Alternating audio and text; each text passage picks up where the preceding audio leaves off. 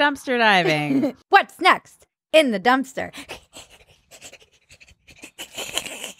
My boobs are jiggling all over. A pharmacist was arrested and accused of destroying more than 500 Moderna vaccine doses. This was fucked up. I mean, this is what happens when you have a society that's completely unhinged after four years of being gaslit by both parties. Nobody knows what to believe because they have a media that's not doing its job at all and has completely shown itself to be biased and willing to push whatever narrative they need to to line their fat pockets.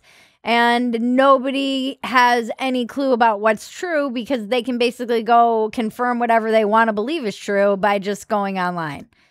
What do we expect?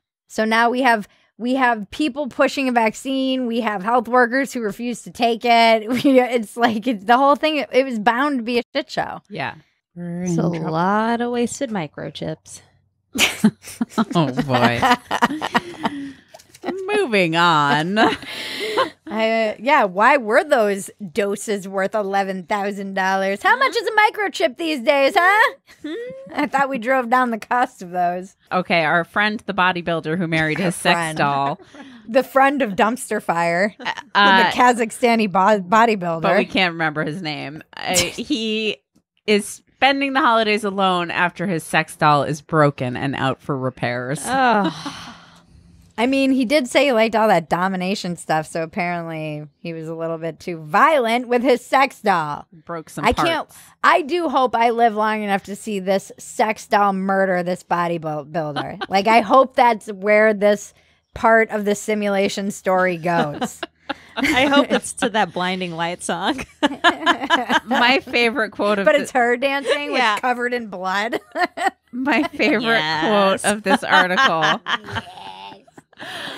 I forbade her from Instagram. I did this a long time ago. Maybe I'm being too selfish, but that's the beauty of Margot that I can do that to her and she won't mind. see that, guys? What I did at the beginning of this episode? It was a call forward to a joke. That's that's how many levels of chess we're playing on this show. We're playing 5D chess.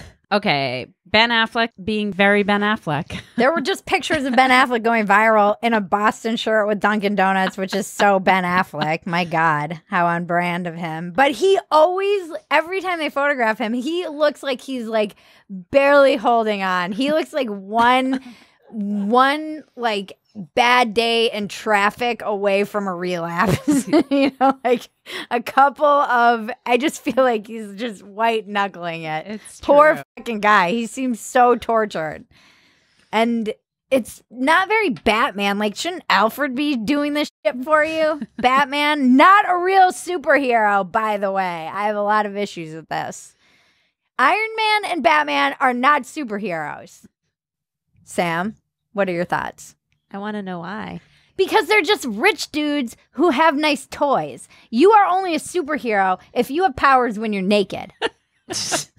I like that argument. I think it's a Okay, valid okay. argument. All right.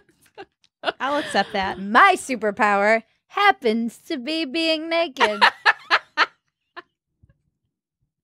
I would like a rebuttal to my argument in the comments below. Look how confident she is now that she's married. I have the patriarchy. I have the full backing of the patriarchy, and now I'm unstoppable.